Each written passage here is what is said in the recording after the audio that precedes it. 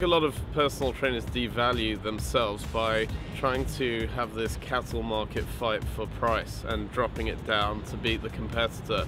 I, I always think that a trainer should value themselves for their education, their expertise, and the results that they get for their clients, and that is is charged at the value that they perceive themselves to be. So it doesn't matter what you charge, it's what you believe you're worth charging and what you believe you can do for your client and the impact you have on your client. This this this game is not price dominant. It's about value dominance, expertise and results.